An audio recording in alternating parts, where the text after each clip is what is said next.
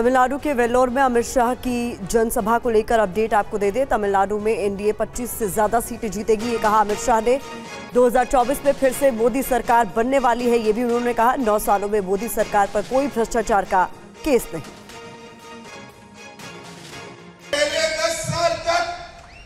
Congress DMK की सरकार तमिलनाडु में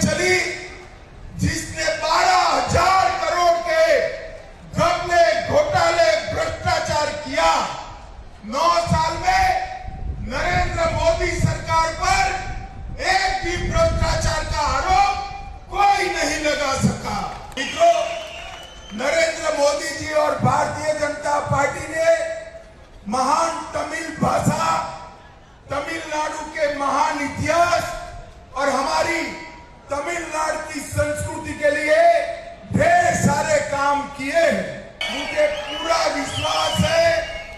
कि तमिलनाडु में इस वक्त, इस साल 2024 में 25 से ज़्यादा सीटें एनडीए जीतकर मोदी जी के साथ तमिलनाडु से कई मंत्री, नए मंत्रिमंडल में शपथ लेंगे, इसका मुझे विश्वास है।